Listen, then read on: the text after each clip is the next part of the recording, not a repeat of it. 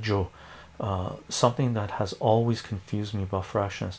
If we can do 10 divided by 2 uh, we can think of it as think of it as answering two things. How many times does 2 go into 10 and how and if we split 10 into two identical pieces how big is each piece each of the pieces? Yeah clearly these two things are related. I just can't understand how. It's because you're using um, english to try to explain interpret something that is happening in the language of mathematics.